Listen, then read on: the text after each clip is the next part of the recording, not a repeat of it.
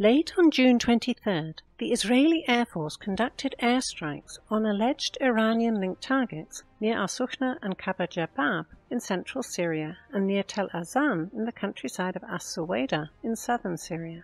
A second wave of Israeli strikes early on June 24th targeted Salamieh and Al Sabura in the province of Hama.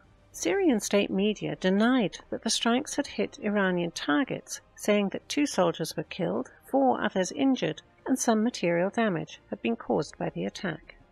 As was expected, the airstrikes took place just a few days after Hezbollah affiliated media had released a video with threats to strike targets inside Israel in the event of an escalation.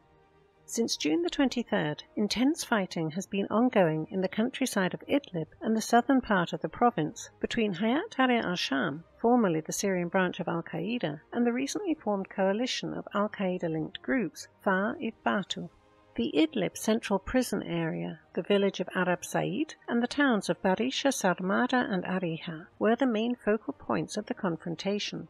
According to pro militant sources, the fighting broke out as a result of recent tensions caused by the arrests of some members of Fa Ithbatu by Hayat Tahrir al Sham security forces.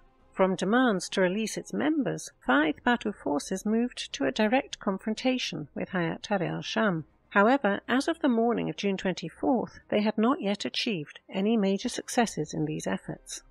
Simultaneously, tensions grew between Hayat Tahrir al-Sham and another al-Qaeda-linked group, the Turkestan Islamic Party, in the town of Jisr al-Shughur. Turkestan Islamic Party members reportedly surrounded a local HQ of Hayat Tahrir al-Sham.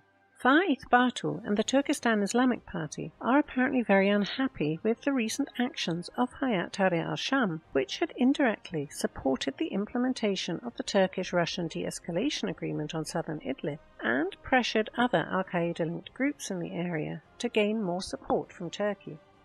While the close cooperation with Turkey allows Hayat Tahrir al-Sham to increase its military and financial capabilities, the implementation of the de-escalation deal poses a direct threat to interests of smaller radical groups such as the ones from Fa Ithbatu.